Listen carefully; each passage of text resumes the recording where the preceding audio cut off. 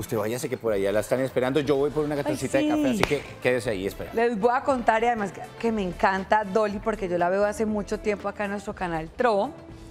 Y ella siempre nos da información y me, me hace enamorar y ojalá a todos ustedes también de Pamplona, la ciudad mitrada de Colombia y que vale la pena visitarla también en Semana Santa. Así que mi queridísima Dolly, cuéntanos más detalles de todo lo que veremos hoy.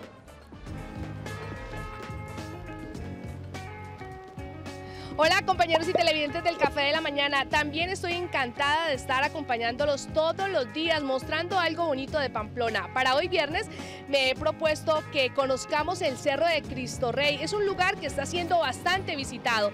De acá del parque de donde me encuentro nos gastamos aproximadamente 15 minutos en el transporte colectivo. Por eso Jesús David, acompáñeme, vamos, allá va la buceta.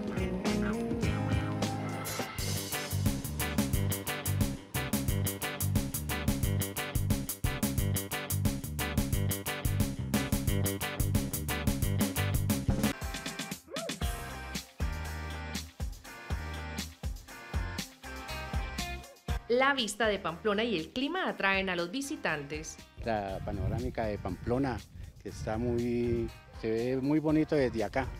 Turistas de toda la región llegan y toman sus mejores fotos. Sonría, papi. Dale, mami, ahí estamos bien. Venimos de la ciudad de Cúcuta con mis hijos y pues visitando a Pamplona, visitando este centro turístico aquí de la ciudad mitrada.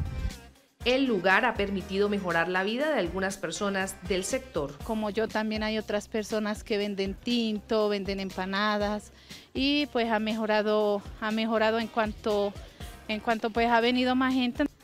La ciudad mitrada desde este punto más alto, el Mirador de Cristo Rey.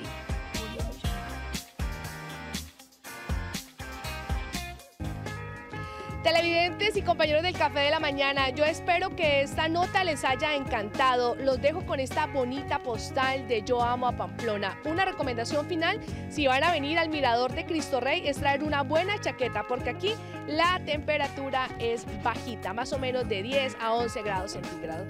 Me despido, regreso con ustedes al Café de la Mañana. Feliz y lindo día.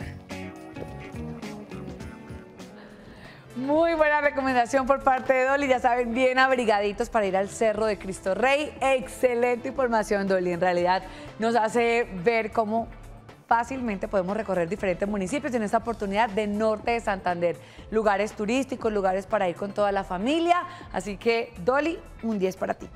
Y feliz día de San Valentín.